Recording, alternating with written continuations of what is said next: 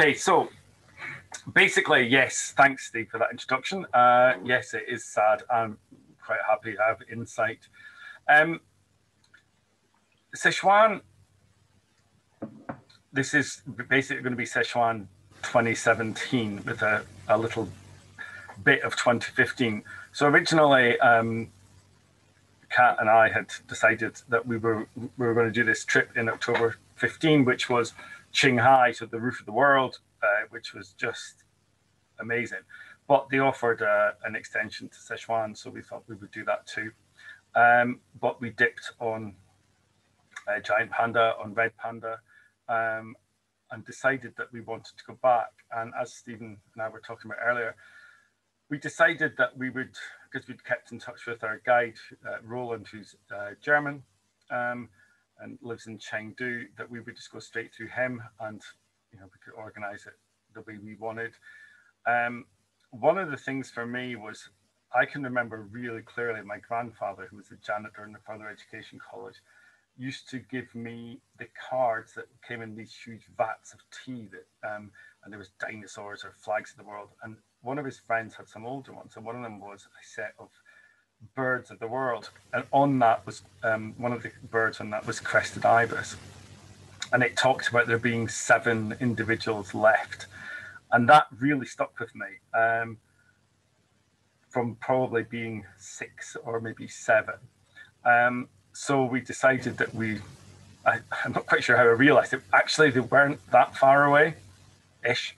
So we asked him to add in, um, that to our trip. So actually, theoretically, this is Sichuan and Shaanxi uh, with a bit of Gansu throwing in uh, because we snuck over the border. So this is a map of China. Uh, Sichuan has the green arrow. Um, Shaanxi also has a green arrow. So they're kind of central China. Um, we went in November because that was a good time to go to see mammals mainly, and that obviously was our focus. Although, as Stephen said, we um, also were quite keen to see some of the birds. Um, and the, the downside is that there really were very few butterflies and dragonflies about because it was cold. Um, so this is uh, stolen from Nature Trek. Um, it's not quite what we did, but it is roughly what we did. The really interesting thing is that every, everywhere seems to have multiple names. So we did fly to Chengdu, the capital of uh, Sichuan. It was still, when we went the first time, so two years prior to this one, it was still recovering from a, a, an incredibly powerful earthquake. And some of the driving was a bit hairy. The roads were, you could see where they'd been completely destroyed. Uh, huge rocks the size of houses that kind of crashed down these passes. Um, so we went there, uh, Dujianyang, um, Baojing, um, Labahe, we went to uh, Wolong, we went to the first time, but not this time because um, we, they weren't letting people in to look for the pandas. And then we went up to the north um, near Ruaragai, which is um, the Zoigi grasslands, which is a completely different type of habitat. Pingwu is a, a, a fairly newish place for um, giant panda. And then Tanjiahe, we've been to before, and it's just got amazing mammals and birds um, and scenery. And then we snuck off um, from Tanjiahe. You can uh, walk up this mountain where the tragopans are. And if you keep going, you uh, can sneak into Gansu. And then we drove to Shaanxi because we wanted to try and see the crested ibis. And then in Shaanxi, just to give you an idea, uh, Foping is, this is also stolen from Nature Trek, Foping is where people go there because, um, again, it's a good spot for giant panda. Uh, we went to uh, not quite that far, and we didn't unfortunately go to Xi'an and see the terracotta warrior. So, having been to China twice, I've never seen the um, Great Wall or the terracotta army, um, which makes me a bit of a philistine, I'm afraid. So, November 17, so we flew into Chengdu, uh, straightforward, met Roland, and then drove on to Labahe, which is about four hours, and we got there uh, very late at night. Um, but obviously, there's time for spotlighting, because uh, there's always time for spotlighting, I thought it was fairly limited. And what we saw was these um, the Chinese goral, um, up on a ledge uh, off the roadside. And that was kind of all we saw. But we were a bit knackered, so we went back and got some sleep. So Goral is one of these weird, it's not really a goat and it's not really an antelope, and it's kind of somewhere in the middle. Um, so the next day, we're up bright and early, spent the whole day in Labahu, a bit of early morning spotlighting and spotlighting in the evening. And as you can see, we were somewhat excited at seeing red pandas uh, because we had dipped hugely on red. Hadn't had a sniff at them the first time. Um, and we were somewhat excited. And but as you can see, it was a bit misty, a bit cloudy. Uh, it's a really, in, a really nice landscape, big sort of primarily coniferous forest. Um, this, these little cuties, the Swinhoe's striped squirrel, a bit like um, there's a whole range of striped squirrel, I suppose small striped squirrels in Asia. I've seen quite a few, oh, we've seen quite a few in India, particularly um, different ones. Stephen, you probably saw the the one up in um, Assam, Arunachal Pradesh. We've seen different ones in Cambodia, but these guys are the Swinhoes. They've got really cute little tufty ears and they're tiny. Um, the really, really, really strange thing about I find about going to kind of this sort of part of Asia is you're kind of going along, you think, I recognize that sound. And I'm not very, I'm really bad at bird calls. And you look up and there's a coal tit or a wren that's the same as ours. And you're just like, it doesn't seem right somehow to be the other end of the world. And there you go. But so we had coal tit, but then we also have the red-billed blue magpies, which um, are somewhat different than the ones we get here, um, and are really stunning. Fortunately, quite raucous, but we're quite far, um, quite distant, I suppose. We're a bit, uh, perhaps a bit shy. Um, seen them uh, the last trip we saw them in town, um, and they were just really didn't care about us, which was rather nice. Um, with a bunch of um, or a few olive backed pipits. Uh, I am legendarily bad at brown bird identification, um, so I've quite like streaky ones. So that makes things a bit easier. Um, and then we had this huge flock of uh, speckled wood pigeon, which was a new bird to me. I quite like pigeons. Um, there's rather too many species to my liking that I haven't seen. Um, but these guys were, we, we didn't get any sort of perched close views of them. Uh, just had a lot of them flying by uh, fairly distantly, but you can see the sort of the pale heads on some of them. And then other birds we had when we were walking around is the wren. You know, it's like, oh, recognize him. Um, we saw um, China's great for fulvettas. We saw a whole different range of fulvettas and parrotbills and rosefinches. Um, but the first one we had was grey hooded, uh, just quite easily identifiable by its uh, rather sinister looking eye. Um, there were a surprising number in many ways of warblers around still. So this is an ashy throated warbler. Um, and greenback tit, which looks just a bit like a great tit to me, but um, you know, I like a bird that's colourful that I can actually identify uh, fairly easily compared to your um, pipits and larks and uh, don't start me on cisticolas. Um, and then we see a red panda. Um, and the top left one is the first one we saw, and it was quite difficult to get near. You don't want to get too near, you don't want to scare it. Um, but they're also in fairly thick trees that are, as you can see, got lots of moss and branches, so quite hard to get a decent shot.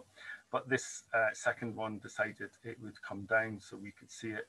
Um, they're interesting. The red pandas here, I think, were a lot darker than certainly the ones I've seen in Chester Zoo, which seem a lot more russet. Um, but you know, it, it's hard not to want to take them home. To be fair, uh, and I think uh, they're going to win most polls of the cutest mammal. I think, to be fair. Um, and they're just really cute. Um, again, I think this particular one has quite muted marking, so some of the other ones have uh, a more obvious sort of ringed tail to them. Um, but it's quite impressive. He was very secure coming down the tree. Um, as you can see, very mossy. Um, so then the other main thing we saw, we got pictures of that day, is this uh, wapiti. So in effect, one of the red deer. Um, I I'm a, well, I suppose I have an ungulate problem. Um, that's probably, uh, well, they are my favorite group of mammals or family of mammals. Uh, this was a new one for me and I was really excited, then realized that actually they'd been imported. It wasn't, uh, they're, they're naturally found more up on the uh, the border with Russia, it's Manchuria, um, and the owner, or the person who bought the um, reserve, had uh, shipped them in.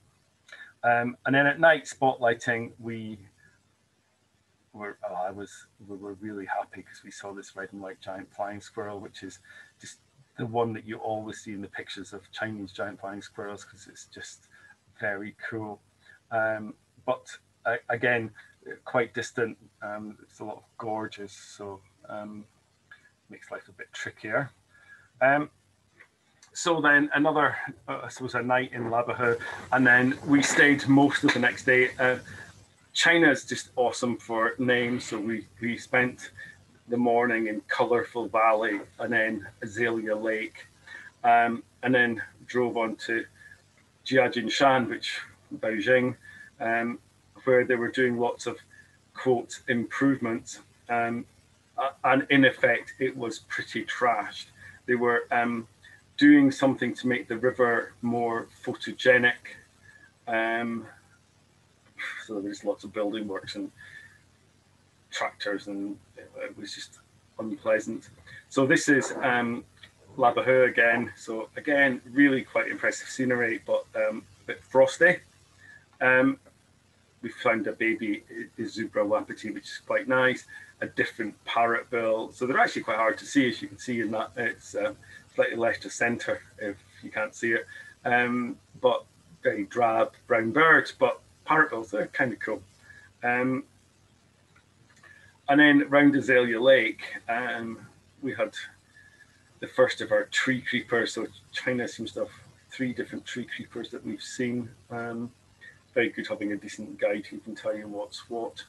Um, and then really uh, spotted nutcracker that really didn't care about us. It just sat there and scowled really while eating its uh, eating the nuts that it found in the around Azalea Lake. Um, but really confiding and uh, probably the best views I've ever had of a nutcracker. Um, and again, China seems to have a lot of nuthatches. Um, so this one's a chestnut vented. Um, we've seen quite a few different ones here. Um, and then uh, a better shot really of the grey hooded fulvetta. Um, I'm quite partial to fulvettas, uh, particularly the one that's coming up later on. Um, so again, you know, quite nice, crisp, cold, fine if you're Scottish or, and I guess Welsh weather. Um, and then just as we were going to leave, we found this um, caves stretching. It had a door, uh, and then into this kind of uh, cave slash cellar where there was this bat that we're told is greater tube nosed. Um, I'm not completely convinced it's not a horseshoe, but it's one of the most annoying, frustrating things when you're what, trying to watch mammals because very few people can tell you what bat's what. Um, Kat has um, an international bat detector that works pretty well in many different places. Uh, and we've used that successfully in the Amazon even. Um, but I'm sure there's, there's a lot of bats that should be on my list that aren't because you can't tell what they are. Um, they were a group of Tibetan macaques, which are just uh, somewhat chunky monkeys, I guess. They are quite big, solid, hairy, uh, well adapted to cold um, primates. Um, but I wouldn't argue with them because they do have fairly impressive canines. Um, and then rufous vented tit. Uh, again, there's lots of different tits in China. Um, and rufous vented's quite cute. This is a really great shot, not showing the rufous vent, unfortunately, but um, you know, nice crest, nice big cheek patches, uh, nice bird. So when we were in Labuhu, it's also very good for the Amherst pheasant, apparently. Um, we did see a really cracking male that just screamed across the road we were walking on. Uh, this ridiculous tail that seemed to almost still be on the other side of the road while the bird was actually heading into the shrubbery. Um, but uh, unfortunately, you know, it was moving very quickly and no decent photograph was taken. Um, we also had grey cap pygmy woodpecker, which is seems to be fairly cosmopolitan. We've seen that quite a few places. Uh, long-tailed shrike, Elliot's laughing thrush, again, is one of the laughing thrushes we saw fairly consistently throughout Sichuan. Uh, rufous-breasted accentor, lots of accentors also in China um, that are very nice. Um, and much as I think a dunnock's quite a cute bird, these are slightly prettier. Um, and then we had a further grey-headed flying squirrel that um, was identified um, subsequently. Um, they can be quite difficult to identify the flying squirrels. There's a number that looks fairly similar. So we're now in Baojing or Jian, Jiajin Shan. Um, it's excellent. Where are we going to go? We're going to walk in Leech Valley. Oh, that sounds like fun. Um, however, I'm quite sure Kat's going to butt in if I don't tell the story, but I will. Um, so this is Baojing. Uh, again, looks very pretty if you ignore the fact they're redirecting a river and putting different stones in it to make it look better for the tourists who come in to look at the um, autumnal tree. So then the leaves change um, and turn red. That's a lucky color. So, so we're walking along this path, and I'm chatting with Roland, and Kat's behind us, and she's like, "Oi, uh, you might want to look to the right." So we do, and there is a very close red panda um, sitting on a branch or lying on a branch, really not very bothered. And um, I hate to think how many pictures of this Kat and I took together, but it's certainly it's going to be four figures worth, I'm sure. Um, it just wasn't bothered. Uh, was, we were taking the pictures through um, some shrubbery, as you can see, there's some blurry bits where I just leaves, but um, I think this one's right up there in the very top of my uh, wildlife experiences. Uh, so thanks for that, Kat. Um, it was just, um, I would say it was clearly not bothered by us because I think this is possibly the most relaxed animal, sort of mammal I've ever seen. Um, it just, you know, it looks a bit like somebody's darted it. Um, or Stephen's given it some sedation before he does his dental work. But um, really beautiful. A lot, and interestingly, I think a lot more chestnut and the tail's a bit more banded than the other ones that we'd seen. Um, although it's same same subspecies or species. Um, just ridiculously cute. And I know I'm talking to a bird group, but I'm sorry, it's a red panda and it's cute. Um, however, we also had uh, a new Fulvetta, a different Fulvetta, white-browed Fulvetta here, um, and rufous-breasted accentor. So we had quite a lot of rufous-breasted accentors throughout the trip, along with robin accentors. They were the two we mainly saw with the occasional brown accentor. Um, and then another goral um, out during the day, which is nice because we tended to see them mainly at night. Um, but this one uh, was having a drink on the cliff face above us um, and actually looks a lot woolier and less grey. I think it's quite a young one. So, um, But the white-browed Fulvetta is a very nice bird, I have to say. Um, and then there's another call from Kat to go, uh, you just walk past another red panda.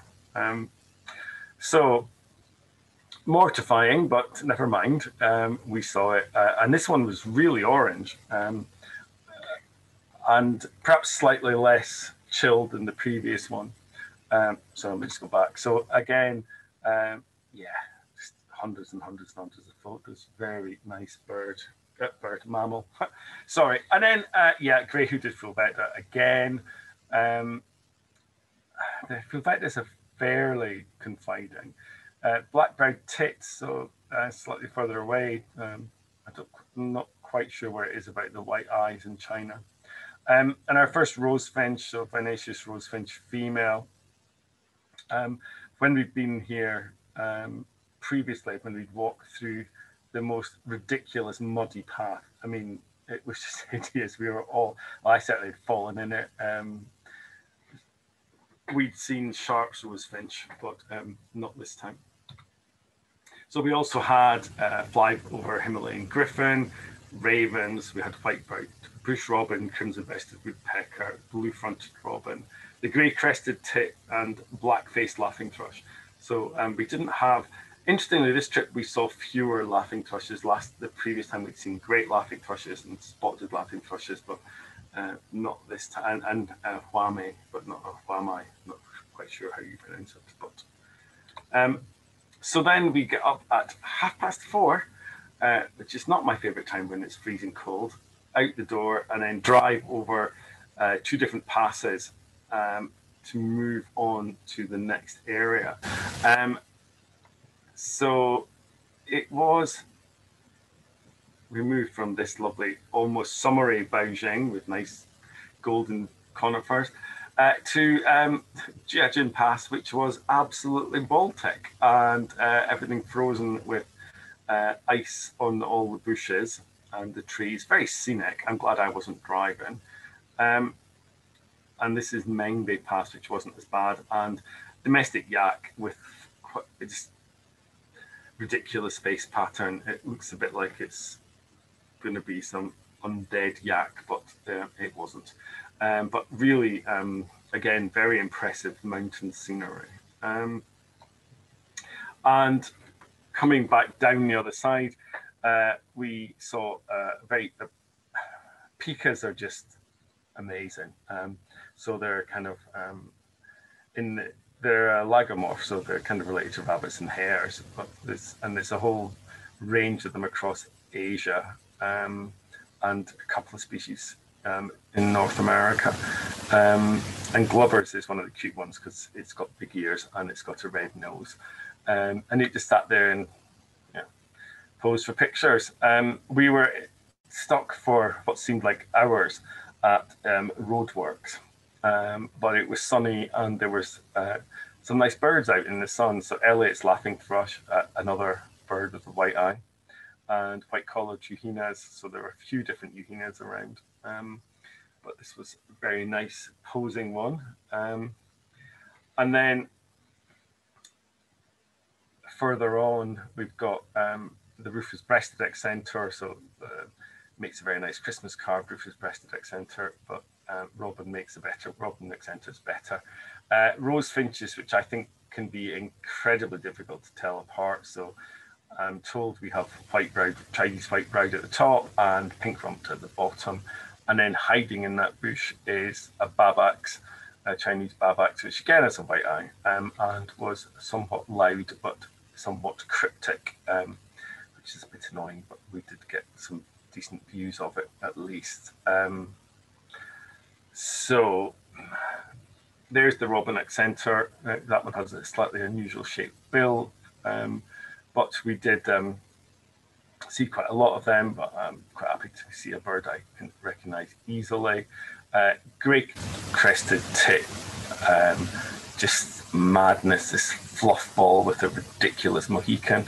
And um, Rufous vented tit trying to uh, also have a nice crest and a little hint of a rufous vent there. I think it looks a bit precarious, like it's going to fall off these pines. Um, but again, uh, a lot of tits in China, as I said.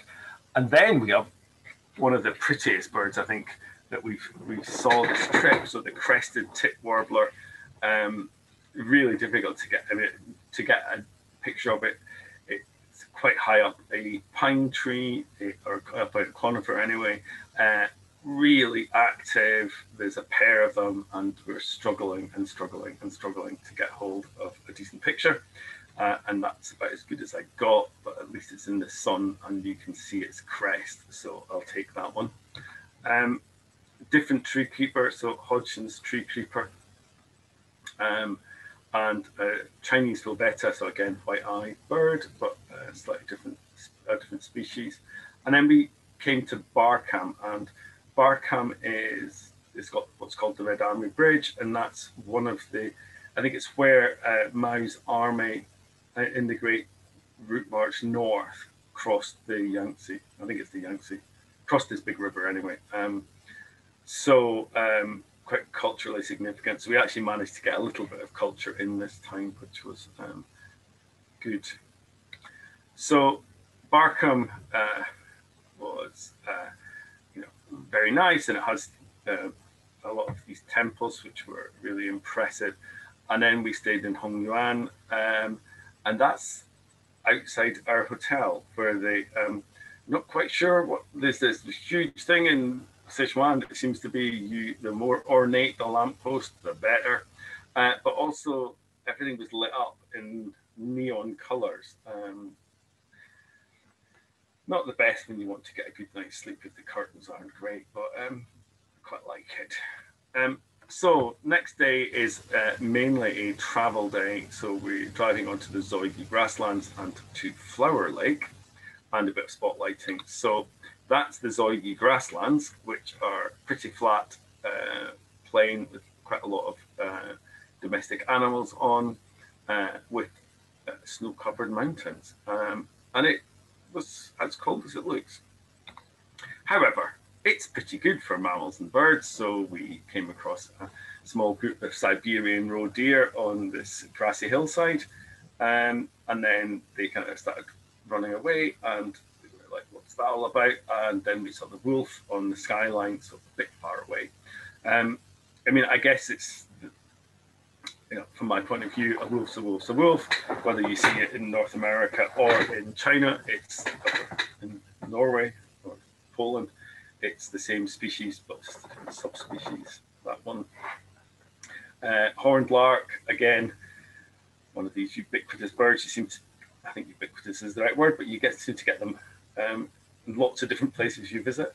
Um, but not the ground tit. The ground tit is, uh, we'd have, I've only ever seen that in China, and it is very strange, but very cute. Um, again, quite approachable and just looks weird.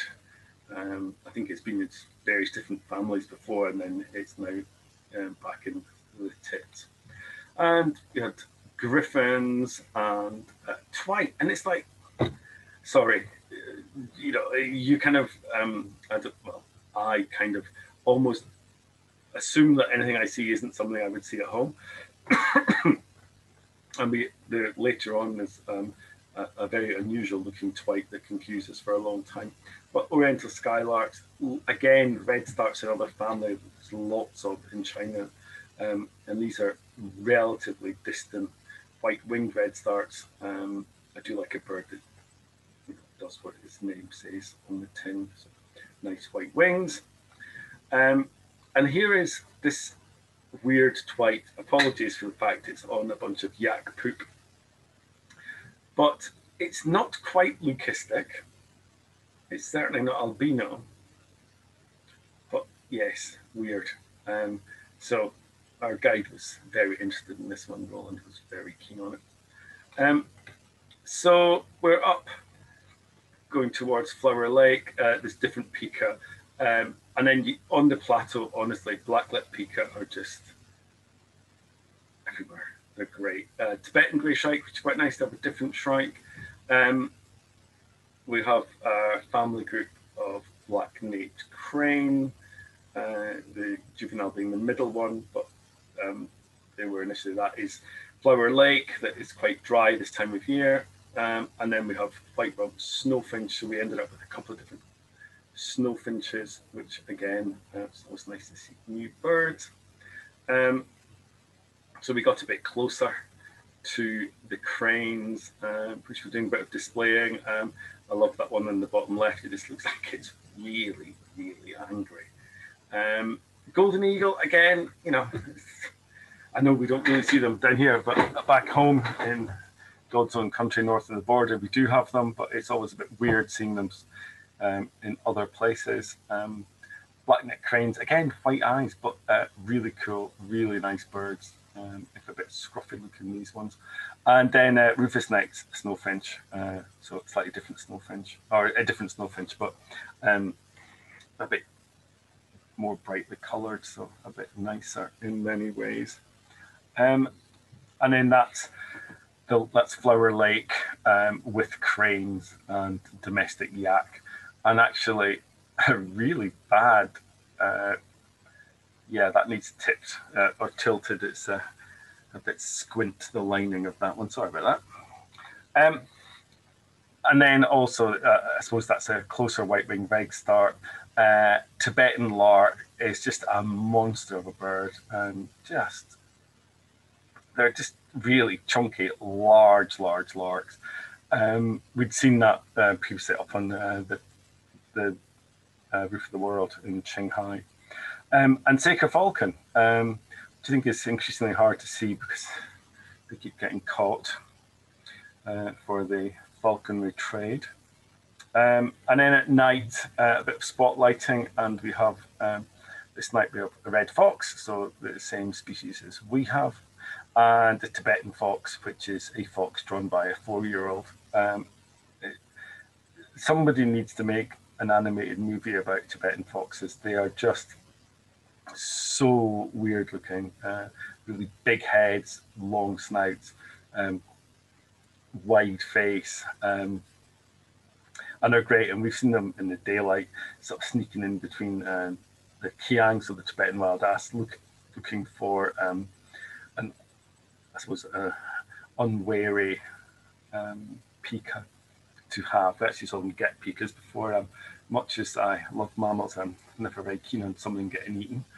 Um, so the next day, we're back in the same area in the Zoygi grasslands, um, and we nip over the, this pass, which was quite impressive, down to uh, Baji Forest, um, which we will revisit the following day. We just kind of uh, ran out of time because we saw Pallas's cat. So we had gone up, uh, we'd stopped and just we're just wandering around um, the edge of the road, and uh, I can't remember. I think it was probably Roland spotted this very distant Pallas's cat, um, and we could see where it was going, um, and it was on the right side of a, um, I suppose, a small valley on the side of the um, road. So we snuck up the left side and had some good views with the scope.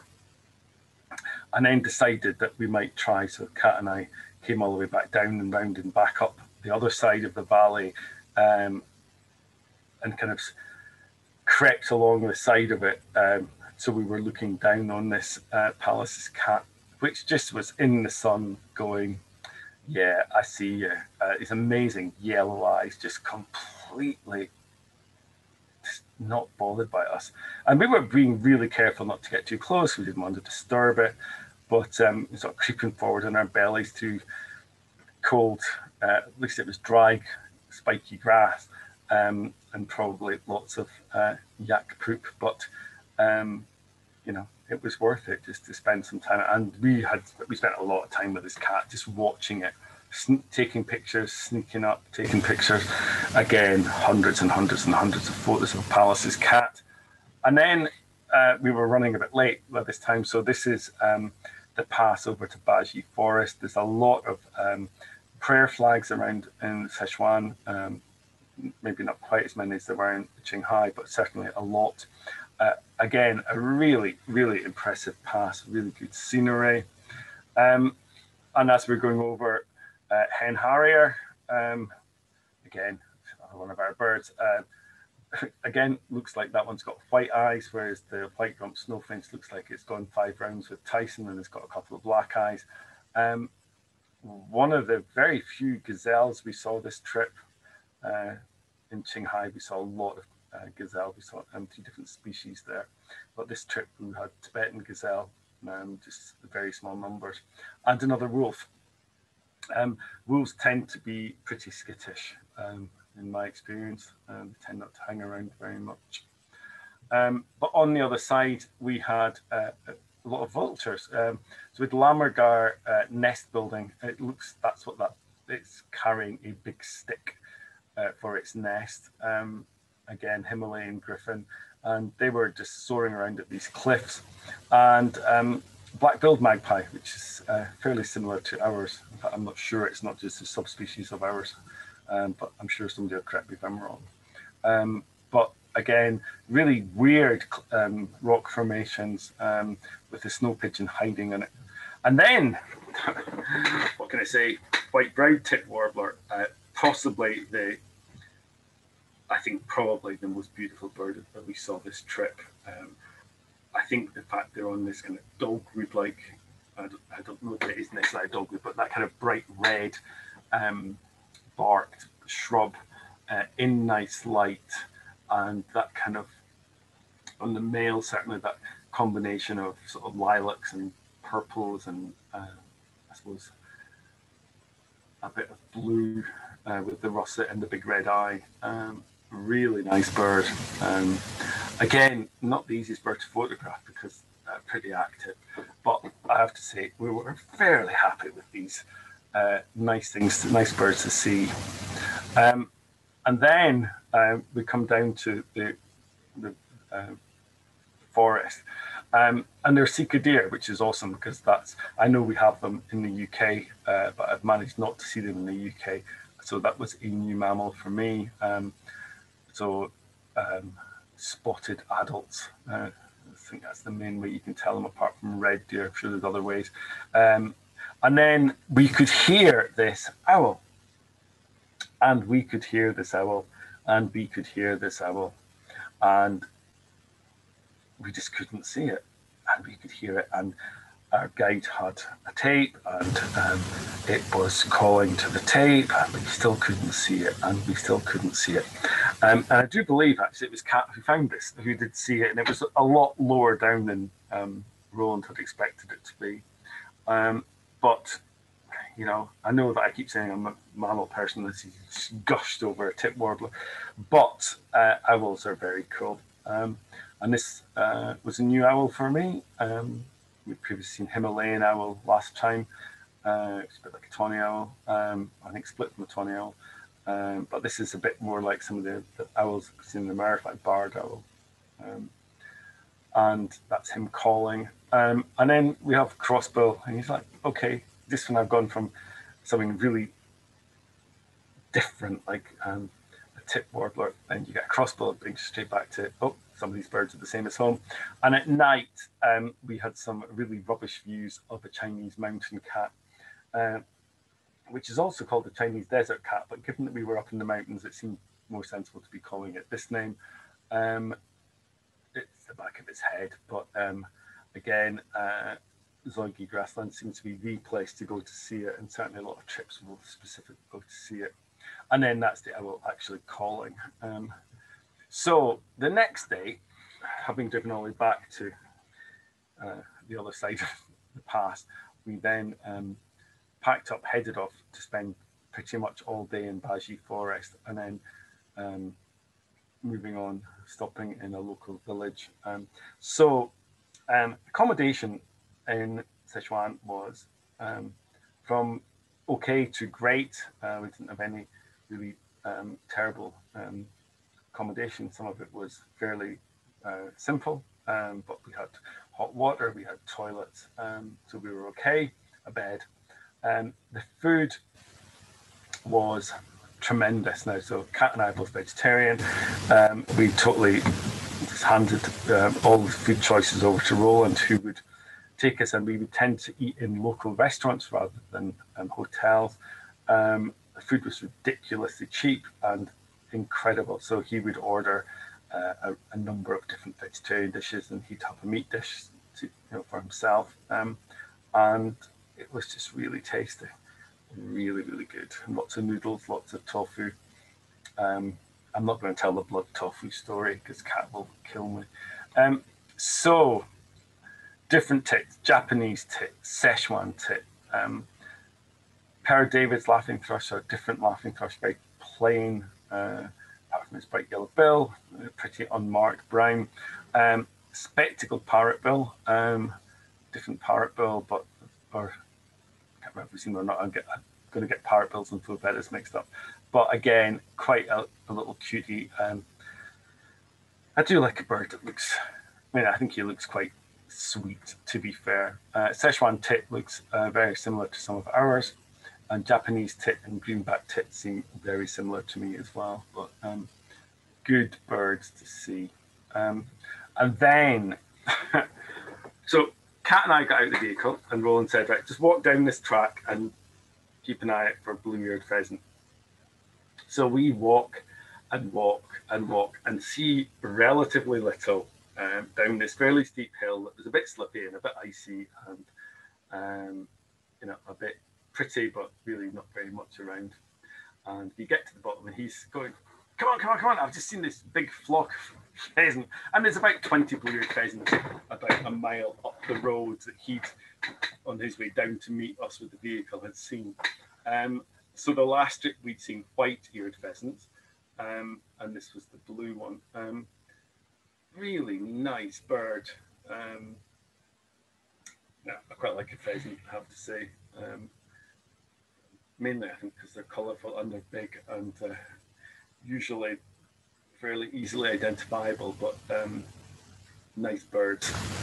Um, so we're walking through the forest, and there is uh, Pika, again, a different one um, that there was some, uh, well, a lot of discussion about whether it was uh, which species it was anyway. Um, ultimately, it turns out to be a Gansu Pika, which is supposed to make sense given we're quite near Gansu at this point. Um, different bullfinch uh, than ours, uh, grey-headed bullfinch, um, male and female there. Um, nice birds, I have to say. Uh, um, I'm lucky I have um, well, three, four, five bullfinches come to my garden pretty much every day. So um, I think ours are probably still more attractive than these.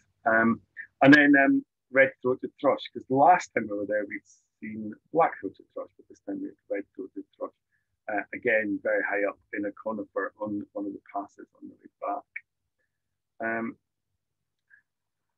oh dear.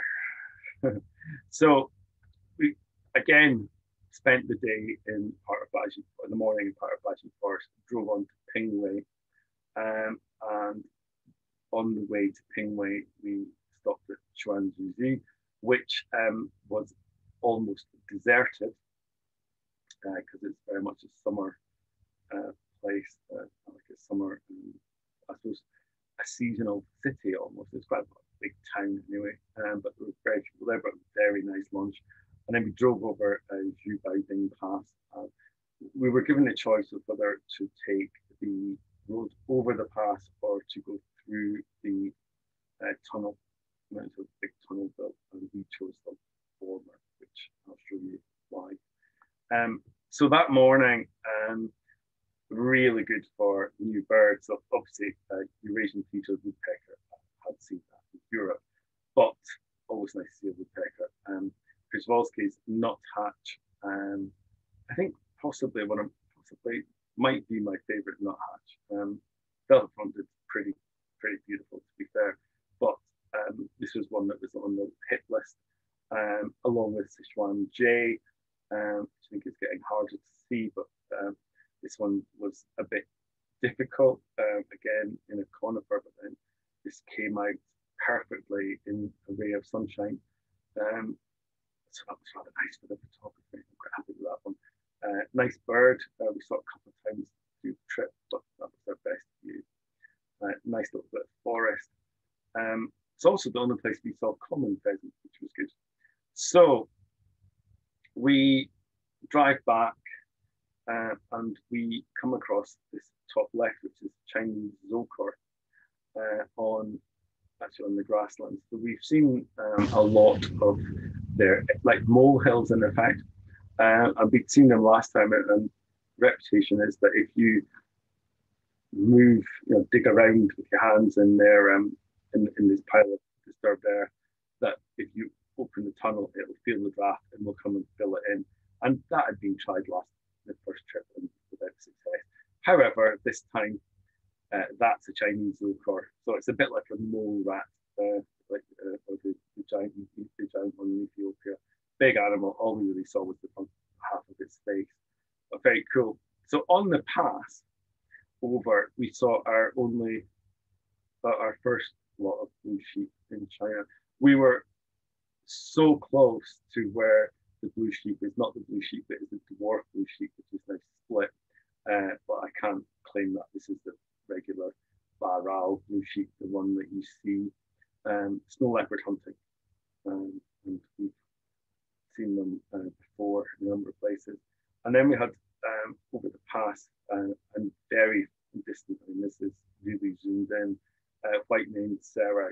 Um, so again, serow, but like goral, it's one of the goat antelopes, but this is um, a black animal with a big white, long, hairy mane and bright ginger black legs. Uh, it's just mad.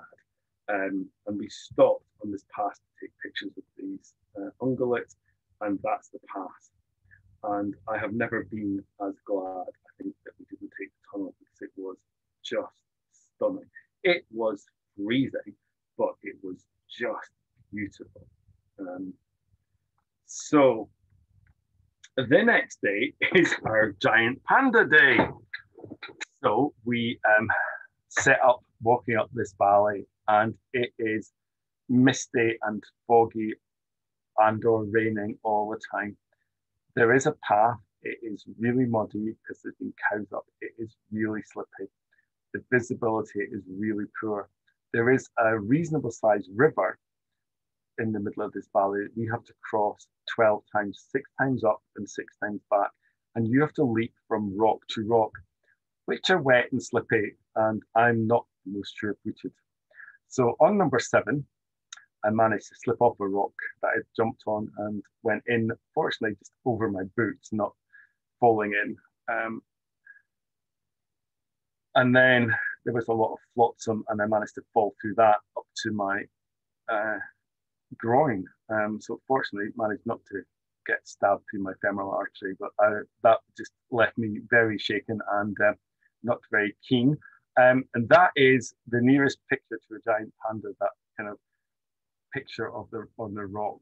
Um, we struggled to see the other side of the valley because of the mist. It was really unfortunate that there were very few birds about. Um, we just got wet and cold um, and miserable. Um, and at one point, we could see some ferns, bamboo moving, and it could have been a giant panda, but we didn't see anything. So that was super disappointing. So we left from uh, Pingwei and went on to Tangjiahe because we were like, we've been there before. They've got mammals and great birds. So we're in Tangjiahe all day. The following day, we go for a 17 kilometer walk. Um, we took the tourist bus up. So Tangjiahe's got kind of two valleys, um, one of which leads to a sacred mountain that I think is possibly only the Chinese would, has a path from the bottom, where you got off the bus, right to the top of this mountain. Um, and it's either a sort of gently sloping or flat path, or and if it's remotely uh, steep, then there are steps. So you basically climb thousands and thousands of steps. But this day, we took the bus up the left-hand valley to the top, and then basically walked back down to the hotel. Um, and we had nice views of various birds um, on the way up. So uh, much closer red-billed blue magpies, which are really ridiculous. Um, you know, that tail is just mad, um, but really beautiful bird with a red eye, excuse me, rather than a white one. Uh, Hodgson's redstart, um, again, really you know, nice bird, redstart. What's not to like? Um, and then um, we start getting into forktail territory. So we have white crowned forktail, again, really nice bird. Uh, we have uh, red-billed Leiothrix uh, in the bamboo. Um, feel like a bird that's easily identifiable, but I prefer it if it got a bit closer and be a bit less hiding in the bamboo. Um, white cap water redstart, we've, we've seen a lot last time along the rivers, um, really common uh, bird, again, really pretty. And Vinus or Venus throated parrotbill, which I have to say, just I don't know. It looks a bit like it's from one of the angry birds or something. It's a very sweet looking bird, but it, it kind of looks like it its head and doesn't have a neck and its head's stuck in its chest. Um, but very sweet. Um, do like a parrotbill. Um, brown dipper, so a slightly different dipper or a different dipper than ours. A different Fulvetta, uh, David's Fulvetta. Uh, so Père David, clearly the the I think monk who was priest, I think a monk who was um, the deer, Père David's deer is named after him. and He described the giant panda, I think, as well. uh, but all the birds he seems to have are fairly um, dull coloured, let's say. Um, we saw this tufted deer at the side of the road, which again was pretty nonchalant, not really bothered by us. Um, and given that previously the only tufted deer I'd seen had been barely visible through a scope at the very top of a mountain in uh, the previous trip in uh, Baojing. Um, we were very, well, I was, I think we were both pretty happy to see that. And then Tibetan macaque uh, back at the um, hotel being um, fairly amorous, let's say, and involved in some fairly dodgy behavior. Um, so the next day is uh, Motianling Mountain, so one of the sacred mountains with thousands, literally thousands of steps. And the very top of the mountain is the boundary between Sichuan and Gansu. So if you, um, depending how strict of a lister you are, you want a Gansu list, that's where you can start. Um, so on the way up, we have Sichuan Takin. So Tangjiahe is legendary for mammals. So um, all the mammal tours will go there because, particularly at night, there are just great um, chances of mammals. There's takin, there's ferret badger, there's hog badger, there's leopard cat, there's um, masked civet, uh, masked pams, Himalayan masked civet. There's um, various small um, mice. There's um. There's goral. There's um, lots of different flying squirrels. It's just awesome. But they also have really nice birds. So they have grey-headed fulvetta, which we've seen before, but they also have black-faced laughing thrush, uh, which we had much better views at this time than last time. Um, and then, Stephen, this is the one you asked about. Um, golden breasted fulvetta. I mean, yeah, it's a stonker. It's so different from the other fulvettas. I mean, the other ones are also grey and brown, and this one is just gold and black and white. But really, um, I think again up, up there with the uh, tip babblers, the tit warblers, sorry, as um, one of the most beautiful birds we saw that trip. I think, um, and you know, quite well behaved when it came to taking pictures. Um, but we also have uh, standard nuthatches, uh, David's tit, which is bit cross with us, um, Hodgson's treecreeper again, and uh, whiteback woodpecker. So I think the same bird as I've seen in Eastern Europe. Um, and that was at the place where the year before we'd had uh, a pair of tragopans, uh, Temminck's tragopans, which did not put in an appearance this time, but there were a lot of people up the mountain. Um, and we'd had um, one of the ground squirrels, uh, long nose ground squirrel, which uh, again didn't show. I saw David's rock squirrel it was, which didn't show this time. So we had, however, blue-fronted redstart, which is really rather nice. Um, I think that made uh, the calendar and the Christmas card that list. So having walked all the way up, um, and then gone higher than before so we could sneak into Gansu. We then had to turn around and come back without seeing Tragopan.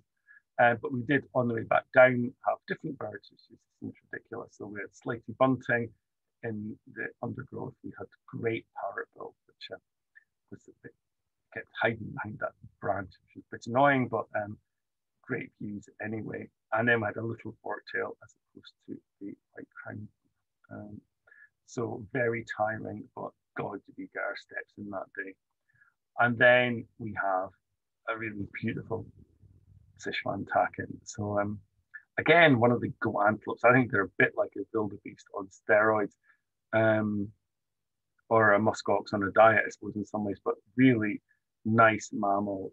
Um, I think they look quite benign, but um, there's lots of warnings about them in the hotel because um, they do like to come out um, so that we stay in a hotel that's uh, got multiple buildings. Um, so it's almost like then uh, within each building, um, there's a number of hotel rooms. Uh, so you have to walk across a central uh, grassed area, which they quite like to be on, uh, particularly at night. And if you come out, so uh, this is before I stopped smoking, so you go out for a cigarette and um, they'd be attacking on the terrace, uh, which is a bit disconcerting because, like many big mammals, they're surprisingly sneaky and quiet. Um, white wagtails. Um, and then at night we had uh, northern hog badger, which um, I'm quite prone, I'm quite, again, quite partial to badgers. Uh, masked civet, again, very cute. And uh, brown-breasted bulbul, uh, I guess this is probably uh, during the day rather than at night, obviously, but that was the only time I think we saw them. So then we have a bit of a disaster day. So we've got this really big drive to full Ping. Um, and the car breaks down. And we just came out this town uh, where we'd seen statues of uh, giant salamanders. And turns out that this is um, where they basically farm them.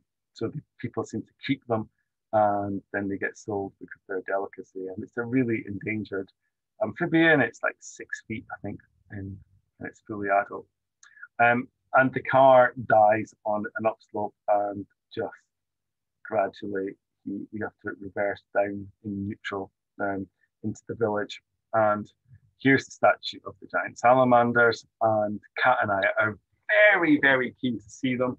And there's a woman who has a bunch of giant salamanders, um, I guess, in a shed or in the garage, wherever she kept in the back garden. And we kind of asked Roland to ask her if we could go and see them, and we were told, no, unless you buy one. And I didn't really fancy my chances of fitting it in hand luggage. I thought it would have been nice to have bought one and released it, but I'm not sure that would have done very well. So while we were waiting for the car, we did a bit of birding uh, over um, the bridge in the middle of this small town, and we had elegant bunting, uh, collared crow, uh, not massively great color on that one. Different red starts with Daurian red start and uh, nice big fresh signature purple.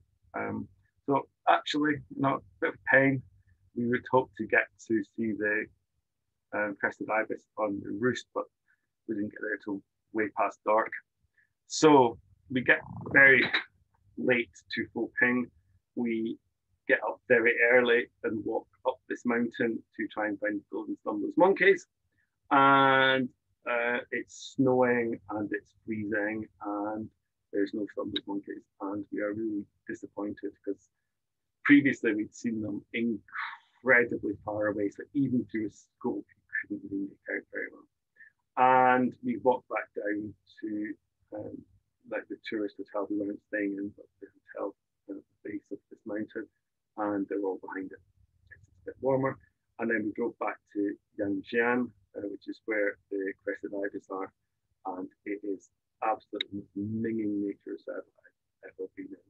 It's uh, stinking river full of rubbish. Uh, and then drive back to Jiangyan, which is near Chengdu. So this is the golden snuffnose monkey. Um, the one that's on all the Attenborough ones, they're obviously um, being fed, I think, yam or sweet potato.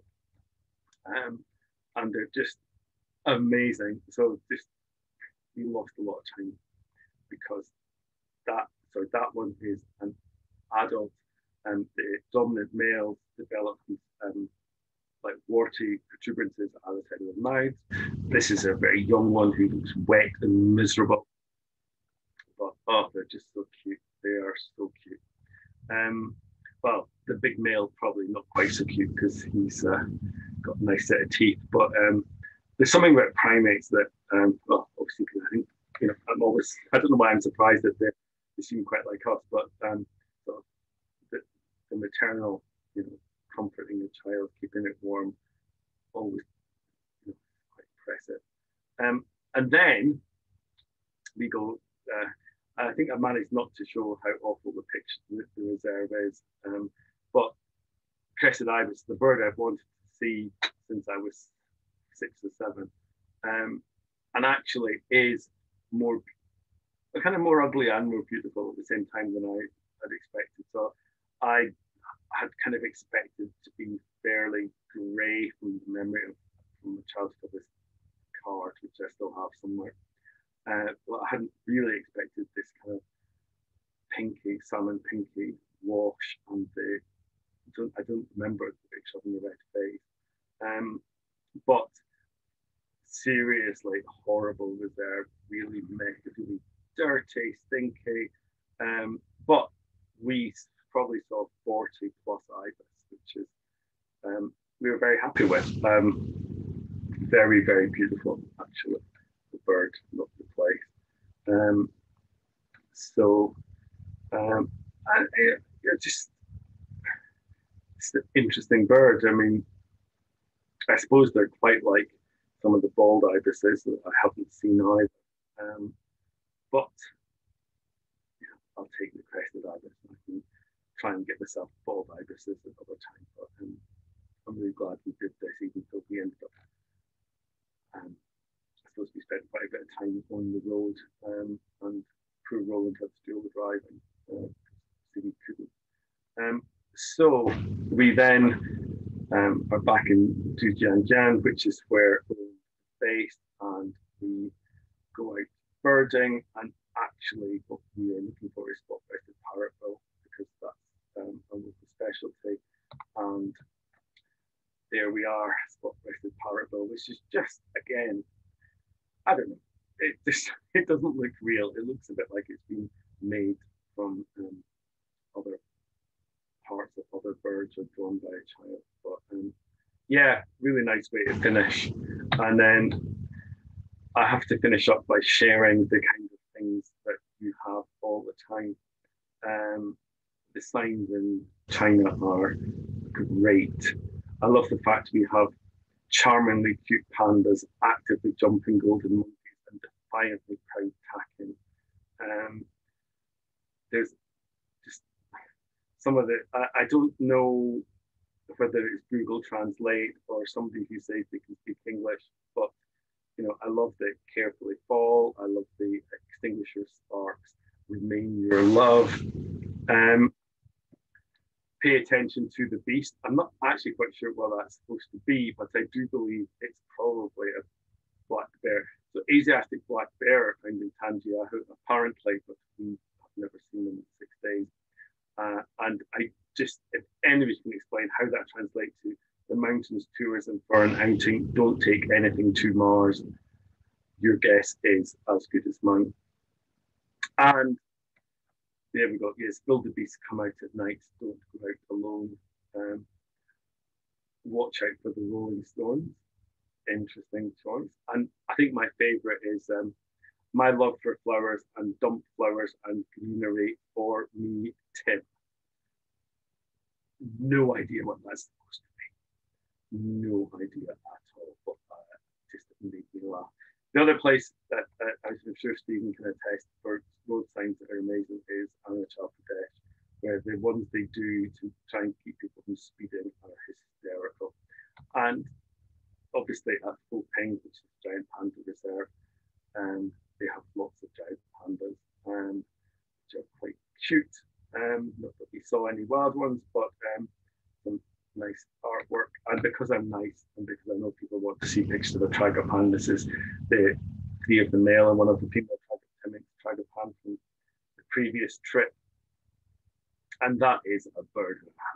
Um, top right one is actually in a tree, which is, you know, not really where I expect to see my pheasants, but um, there you go. Um, really impressive. I know that perhaps other Tragopans have, have more impressive blue wattles, but um, this one will do me. And he beautifully toned in the background color scheme I chose for this talk. And there is the male in his glory. And I think that's it. So I'm sorry, I, I did go on quite a bit. Um, so um, I think I need to do that? Yes. So, sorry about that. uh, don't nothing to apologise for, Kenny. That was fantastic. Um, so many jaw-dropping birds, but also animals more widely, uh, mammals in particular. I think you definitely have an ungulate problem, but uh, when there's so many, uh, you've got to take yeah. a look at them oh, yeah, for sure. I mean, I, the disappointment was definitely not seeing the giant salamander. I really want to see a giant salamander. I'd trade an ungulate for a giant salamander. Well, yeah, don't blame you. Um, right, so if anyone's got any questions, please pop them in the chat. Um, Sophie was asking um, for all your nocturnal mammal sightings, were you sort of using um, a flashlight or were you Yeah. using thermal imager or anything? No, um, because thermal images are we, we haven't used them. Somebody had a couple of people had thermal imaging binoculars for in the Amazon, which were really helpful, but are hugely expensive. We were using uh, Led Lensers, um, and um, uh, our leader had a torch as well. So, um, yeah, I mean the the the, the so in some ways the good thing about Tangier, particularly for the nocturnal stuff, which is like very best, is that it's quite a narrow, steep valley. So things, you know, things are, tend to be fairly close to the road. Um, but yes, they're just normal torches. Okay. Flash them. Yeah, yeah. Uh, It seems like you did did very well just with a normal torch. No need to to go too fancy if it, if it works. Absolutely. Mm-mm. I think the trouble for us, that, that where we always struggle in some ways, is um, trying to light things and take pictures. So it's great if you've got a guy who's going to hold the torch on it, and you can just